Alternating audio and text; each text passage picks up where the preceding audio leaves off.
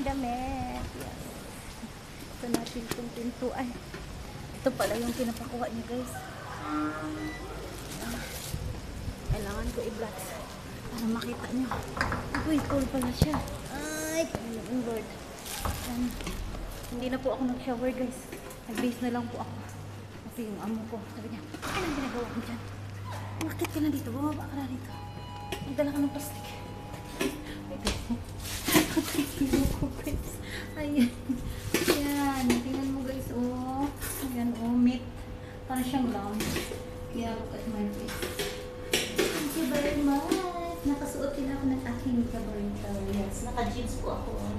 Hindi na ako nakasuot ng uniform. Kasi birthday na po. Wait. Ayan guys. Hiningal ako dyan.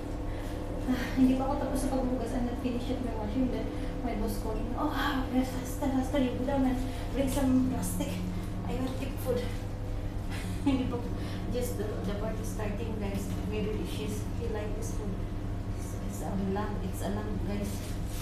Lamb barbecue lamb. I think it's a whole lamb that they are ordering.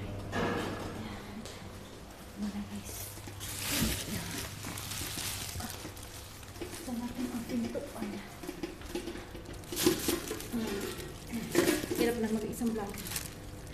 Kailangan lumis ka para yung ma-share ko eh. Hindi ko mabuksan. Ah, ah. Ayan. Sana natin. Oh. Ayan. Babalik ko tayo. Ayan. Ito na tayo sa po. Si Lula. Nakalipstick ang Lula niya. Lagay ko muna ito sa... Ay. Ito ko nakasarap na. Yan guys, ilagay muna natin sa ref. Kasi yun ang gusto ni Busing. Yun yung suot ko guys. Agad-agad. I'm just very fast-fast only guys. I just changed. Very fast. I am noticed so I'm very thin already. Look. Ah, yun guys. They're eating now there.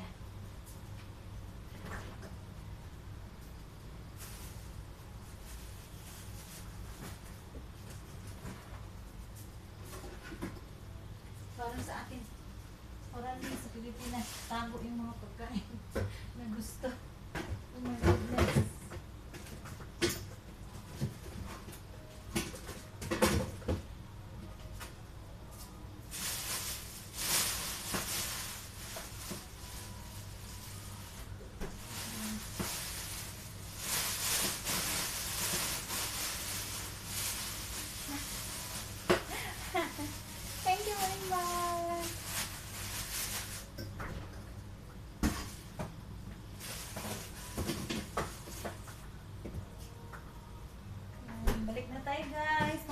Kumain.